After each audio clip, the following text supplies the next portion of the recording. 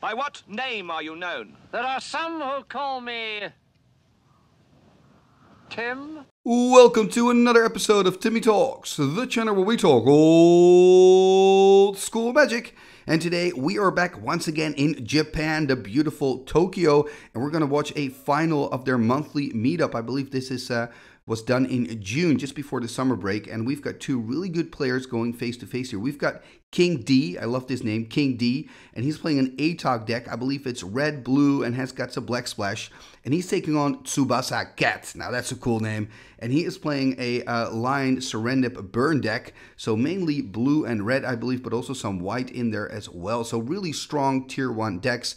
Now, uh, both of these players playing according to the Eternal Central rules. That means we have four strip mines that are allowed in this format. We also have mana burn and you can play with Fallen Empires. Now, before I jump into the deck techs, first a message from our sponsor, 3 for 1 Trading.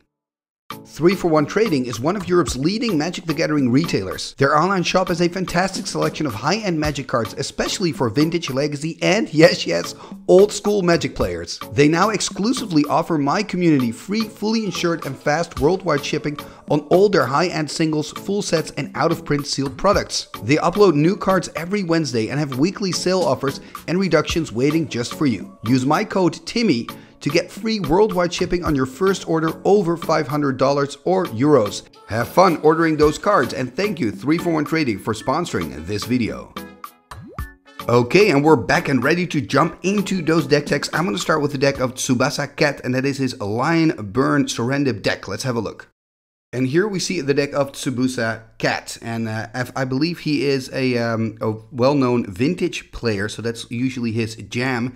And as you can see, he's taking a step into old school, and uh, he has used some proxies here, so I believe proxies are allowed as well today at this tournament. Because look at those dual lands, and look at the library, I believe they're all from the uh, online vintage set. I kind of forgot the name, but it's like an online set.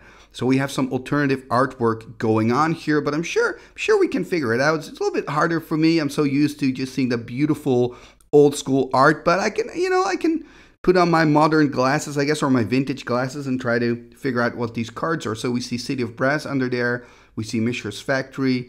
We've got one strip mine, which is interesting because this is a four strip format. I think we'll just, you know, look at this deck. Of course, it's a very well known deck in old school. You've got your Savannah Lions, Serendib Efreet, and Atog. That's your creature base. Very aggressive creatures that come out quickly. Then you're playing with a lot of burn, right? We see Chain Lightning, Lightning Bolt, Psionic Blast. So it's kind of in that way an easy deck to pilot, right? You're just going to burn your opponent out. You're going to turn your creature sideways as fast as you can. And of course, if you start your hand with a Black Vise, you're probably going to play that out first because then you still get some value out of your Vise. He's playing four Black Vises as well. Basically, everything in this deck hurts. And the cards that don't hurt are pretty much broken, right? We've got cards like Balance, Mind Twist, um, time twisters in here, I'm sure. I mean, what's going to be the biggest challenge for me looking at this deck is trying to figure out what the cards are because there's a lot of alternative art here. But I'm sure that I will survive. Um, this is just a really, really strong deck, by the way. Anyway, uh, we've looked at the deck now of Tsubasa Cat. Now let's take a look at the deck of his opponent, King D. Okay, and here we see the deck of King D. Whoa, wow. If you thought the, the deck of Tsubasa Cat was brutal, look at this list. This is even more brutal. I mean, it's really an ATOG list, isn't it? We see a full playset of ATOGs in here, and we've got food for the ATOGs. We've got Ankh of Mishras, we've got Black Vises, we've got all the Moxen in here. And this deck also plays the full playset of strip mines. So where we saw at the previous deck only one strip mine, this deck is playing all four strip mines. And what they have in common is they're both playing a lot of burn. They're both playing Serendib Efreets. They're both playing Vises. So it's almost like a mirror match, but I think maybe this deck is even more brutal. And if I'm looking at these decks, these games are maybe going to last one minute, right? I mean, there's so much burn. They're just going to throw burn to each other and then it's going to be over. Uh, also, both decks do not have any life gain at all. So, I mean, I always think against these decks, if you have a little bit of life gain, like uh, with my mono blue deck, I started playing with Diamond Valley for that reason. If you have a little bit of life gain and a little bit of strategy on how to deal with direct damage, you can usually kind of wiggle your way out of it. I do feel that in an Eternal Central format, that's even harder because you've got those four strips. So four strip mine is also really good for a burn deck because when you're a burn deck, Lightning Bolt is one, Chain Lightning is one, Black Vise is one. Yes, Psionic Blast is three, but I mean, that's also a doable mana, uh, mana amount to, re- to reach to. So all your spells are really cheap to cast. So yes, a strip mine is annoying for you, but not the end of the world. You can still kind of do your thing. Whereas when you're a control deck and maybe you've got more a life gain strategy, it's really tougher because a strip mine can really kind of uh, mess up with your plans, can really like like uh, damage your, your your mana base, damage your curve. It's really tough. So playing against four strips with those type of decks is harder. So that's probably also why you're seeing more of these aggressive decks uh, in the Eternal Central meta. Anyway, um, this is looking really brutal. I have no favorite here. I don't know who's going to win this. If it's going to be Tsubasa Cat because his deck is brutal, or if it's going to be King D and this is his deck. His deck is maybe even more brutal. I think if I'm looking at both of the lists, I kind of feel that King D maybe has the upper hand because he's playing with four strips. Um, and also because he's got a lot of food for the Atog. I don't know. It's gonna be so close. I have I have actually have no idea. I have no idea. Both these decks seem super brutal to me. Anyway, uh, this is the deck of King D. We've looked at the deck of Tsubasa Cat, and that only means one thing. We are ready for the match. And remember, this is the finals of their monthly meetup, so it's always fun. So this is a final match after a full day of playing cards. So let's uh, let's go and have a look at the match and see who's gonna win this one. Game number one, here we go. So on the left, we have Cat, and he's playing with, um, let's think about this, white, blue, and red, and also a splash of black.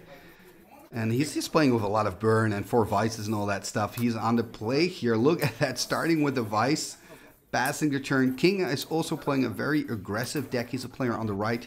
He's playing uh, blue and red Atog, and also a splash of black. But King taking 3 damage here, dropping to 17. And let's see if he can empty his hand. He's got a lot of cheap spells at the moment, so I wouldn't be surprised if he has a turn one play as well. Perhaps also a Vise, although that Vise wouldn't be as good because Cat only has five in hand now. Yep, there's the Vise. There we go. So that means six in hand for King passing the turn. One damage here for Cat dropping to 19. And oh, there's a Chain Lightning. King dropping to 14. And I think it's going to take two more damage next turn. Uh, two more damage for King, already dropping to 12. This is going so fast. He really needs to empty his hand here. He is playing with all the Moxen, I believe, so it would be really good for him if he would just top deck a Mox, drop the Mox, drop a land, maybe play a Lightning Bolt or something, or a creature. There's a Volcanic Island, so two mana. I believe he still has six in hand. Ah, oh, passing the turn with six cards. That's now good. No damage for Cat here, I believe. There's another Chain Lightning. King dropping to 9. This is so brutal. Is there going to be an end step bolt? There's an end step bolt. So Cat dropping to 16. And I believe another damage? I believe King dropping to 8. Perhaps that's even 2 damage. It's kind of hard to see. But he's on 8 or 7. I believe on 8. Gonna drop a land here, I assume. Has to empty his hand here. Yeah, I believe he took two damage actually. He's on seven. Gonna play a volcanic tap out here, or we're gonna see a Serendib Efreet perhaps for three. No, there's a mind twist for two. So at least that's something. Doing something back here. Only two, uh, four cards uh, in hand for Cat, so he's only gonna keep two of them. That's a Psionic Blast and a Psionic Blast. Okay. Taking away some burn, and I believe five cards in hand now for King, who's on seven. Cat on 16. Oh, there's a Serendib hitting the board. Passing the turn back here to King. So King's going to take a damage, I believe, drop it to six. There's a strip. Yeah, I mean, at this stage of the game, the strip is not going to do much. I think in this matchup in general, strip is not that great. Oh, there's also a Serendib. Passing a turn to Cat. Cat, of course, taking a damage from his own Serendib. And now we see uh, three cards in hand, by the way, here for uh, for King. So he's kind of out of that danger range with the Vise. But now he's got his own Serendib. Oh, he's kind of has to block here. Are we going to see a Bolt? Yeah, there's a Fireball for one. Passing the turn back to King. So, I mean, if you're Cat, you could have decided to just let him keep the Serendib. But then again, that, that would be a very slow clock, I guess. Here's another strip mine. It's going to strip another land. Now the strips are going to start to hurt for Cat. There's the pass. Cat taking a damage, going to drop to 14. But of course, he can now swing in with the Serendib. Oh, there's a Psionic Blast, though. Does mean that King's going to take two damage as well. Drop to four. So from six to four. But wow, what an exciting first game here. King is kind of clinging on. I thought he was toast, but now on four, he is kind of stabilized. And I mean, four is still two bolts, not one bolt. There's a Sol Ring. There's a Wheel of Fortune. Oh, I'm a little bit surprised about this wheel. I'm a little bit surprised. Oh, there's a Bolt as well. In response, King dropping to one. And I mean, the, reason I'm surprised here is that King is now drawing seven, meaning that that Black Vise is going to start working again. And I mean, he's so low. Then again, he is so low, so why not just go go full in, take a, take a risk. But I think this is the end of the road here after this wheel. So of course, King really taking his time trying to figure out, is there a way out of here for me? I believe he's on just one life.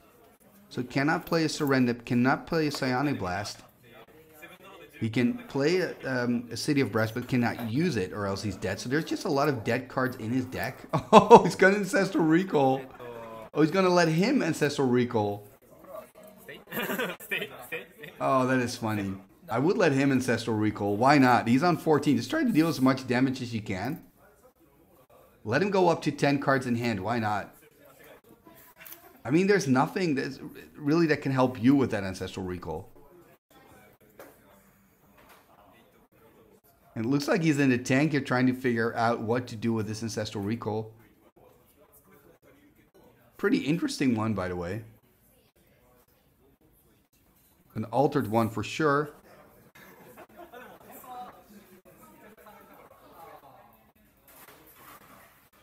And players here are playing with proxies, so I'm not sure if it's a real deal or a proxy. Yeah, he's going to let him draw three. I love this move by King. This is so cool. King going up to 10. I love it, man. It's style points. Style points for sure. Passing the turn here over. So he's got 10 cards in hand. So he's going to take a whooping 6 damage from the Vise. He'll drop to 8. Oh, that is so cool.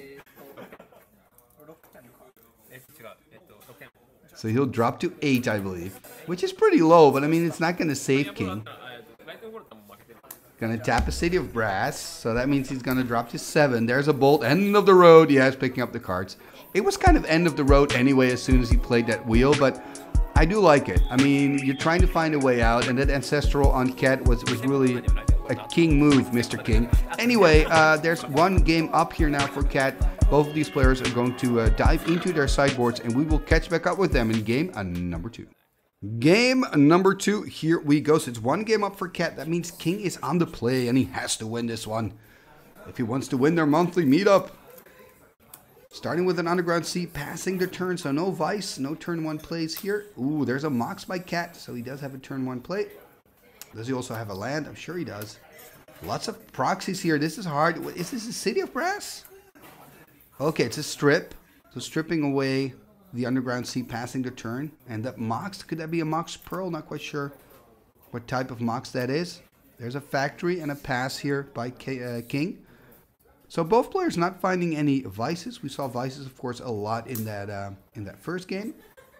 There's a Mishra's factory here being played out by Cat and a pass. There's a strip, another strip, and this is usually what you uh, what you see a lot in these Eternal Central games. At the start, it's just a lot of stripping, back and forth. Usually, these decks also play extra lands because of all those strip mines in the format. There we see a plateau being played out by Cat. Again, a proxy card. There's a volcanic island into an Atog. Okay, there's a creature on the board. We've got action, people. I wonder how long the creature's gonna stick. But Cat's hand is not looking that impressive. I'm seeing a lot of lands in there. Now he's drawing into a Serendib. There's a balance. There is a Chain Lightning. Could consider chaining the Atog. Gonna go for the Serendib Efreet instead. So 3-4 flyer. From Arabian Nights. Does deal 1 damage to you during your upkeep. Here we see a Badlands. Oh, I love this! Paralyzed! Taking down the Serendib while tapping it down. That means there is an attack here for uh, for King if he wants. It could put Cat on 19 here. Let's let's see if he turns the Atog sideways. And I believe this uh, Paralyzed comes in from the sideboard. Pretty sweet card. There's the attack. What I really like about uh, Paralyze, it always gives you value, right? I mean, it taps down the creature, that's one. So usually you have like a free attack like uh, uh like right now. But also your opponent then eventually will have to pay an extra 4 to untap it. And here Cat dropped to 18, by the way, because of the Serendib. So Cat on 18. Probably is going to play out a land maybe and go. Could go for the chain play still. That would be a consideration. Oh, actually taking back that the, the land. Is he considering playing out the balance? I mean, he's got two lands, so playing a balance would mean that King would lose a land and a creature. But I mean, Cat's got a lot more cards in hand, so I think he would have to discard two or three cards? Two cards, I think. Anyway, there's the balance, so he is going for the balance play. He's gonna ditch two City of Brasses here knowing that he can make all the type of mana that he needs with those dual lands. There's a factory. And there's a chain lightning. Yeah, so really cleaning up the board here with that balance. And of course the chain together. So both Atogs now gone for King. And King a little bit light on lands now, even for his deck. His deck doesn't need a lot of lands, but still, you know. Three is kind of the perfect number for him, I think. So he would prefer one more land. Just passing the turn here. Could have attacked with the factory, decided not to. Another damage here for Cat, so he'll drop to 17. He's going to untap the Serendib. Drawing card number two, passing the turn. And King's still on 20. Can he find another land, right? Get five cards in hand. Oh, just passing the turn.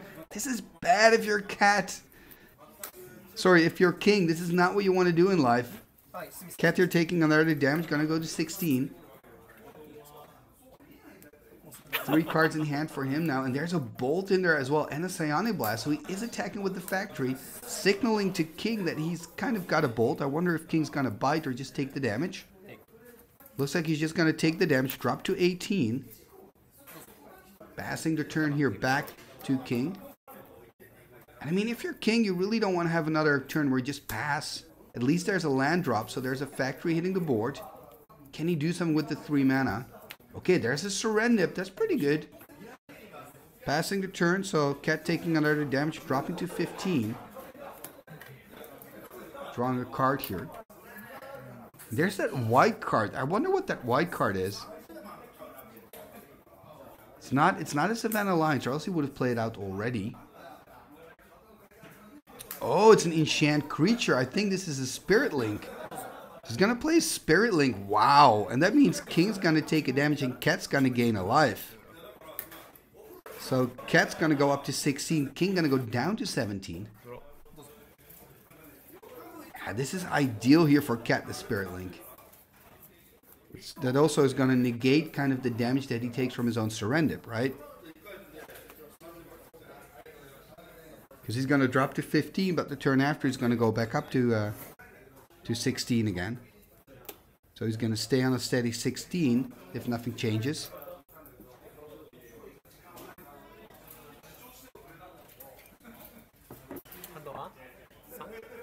So King taking a moment He's on 17. Just passing the turn, it seems, or not. He is just passing the turn. Ay, ay, ay. And look at that hand, by the way, of cat. What's that white card in there? That's like next level proxy. I have no idea what that card is. I do know the king is kind of in trouble here. Or, I mean, is he? I mean, he's kind of stuck. Let me put it that way. He's not moving forward. Okay, there's the Atog here by Cat. Because Cat's kind of, you know, working on his board, and King hasn't been doing much. There's an end-step Psionic Blast on the life total here of Cat, it seems. So he's going to drop to 11. Two points of damage for King, 15. Then take a point of damage from his own Serendib 14. Then one life for Cat, 12. Wow, keeping track of this, these lives is kind of tough. There we see a Mox Sapphire, also a proxy, I believe. But this is an interesting game. I mean, The life totals ping-ponging up and down. And I think Cat's turn is going to be interesting to see what he's going to do. Is he going to just start attacking, for example? He's got some burn in hand. So Cat's on 12 at the moment. King is on 14.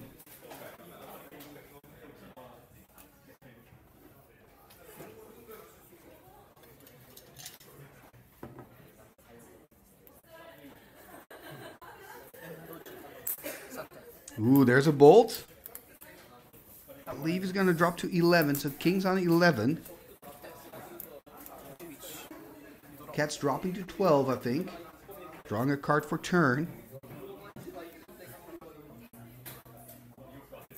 That's a Savannah Lions, I think, that white card.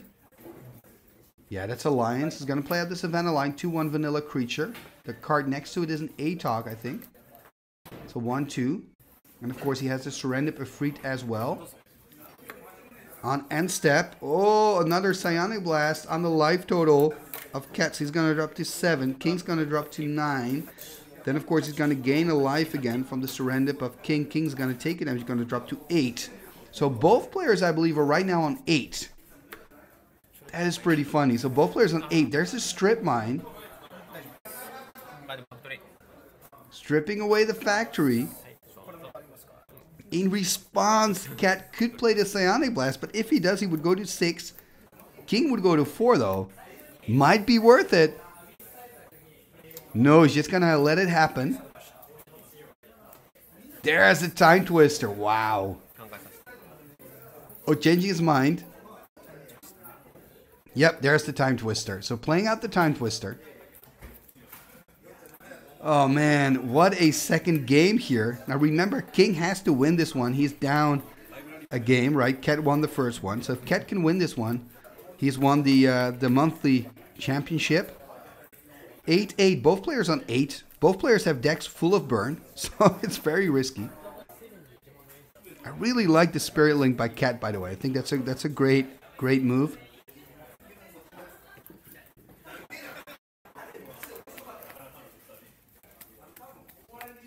Could have also decided to put the Spirit Link, of course, on his own Serendib.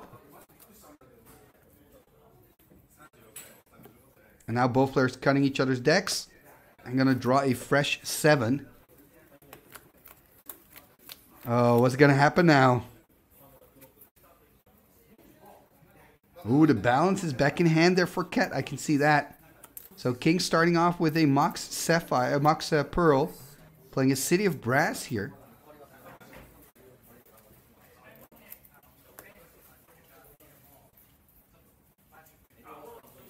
And now he's thinking, can I get Cat from 8 to 0 in this turn?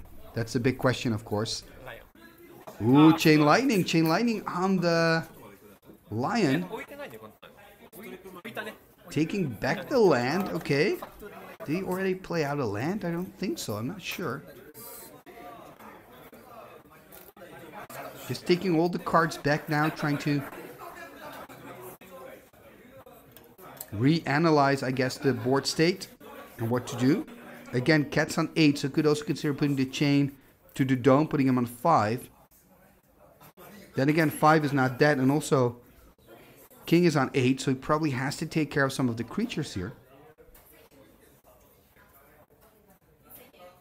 So it's actually not a bad idea to chain the creature, but look at that, just passing the turn. So another damage for Cat here is going to drop to 7. I mean, I think I would have fired off the Chain Lightning. Don't know, of course, what else is in his hand. Maybe he's got a Bolt in there as well. Wants to wait, uh, wants to wait and see first maybe what Cat's going to do. Cat's just going to go all in here.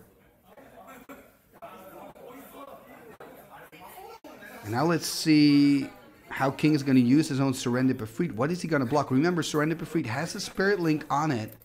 So for example, if he blocks the Serendib Efreet with the Serendib Efreet, then Cat is going to gain 3 life, would go back up to 10. So we'll just have to wait and see what the players are going to do. Yeah, he's going to put it in front. So that means Cat's going to go up to 10. Oh, and then he's going to sack the artifact to the Atog. In response, there's that blue elemental blast taking care of the Atog. So King is going to take two damage, dropping to six. And I think this is well played, by the way. Oh, there's a chain. Gonna go to three. There's another chain. That's it. End of the road. Oh man, I was hoping for game number three because actually these games are pretty, pretty tense. I really enjoyed uh, the second game. I loved seeing the Spirit Link. I loved seeing the Paralyzed coming in. Those cards really are so good against the Serendib Efreets and they can really make a difference.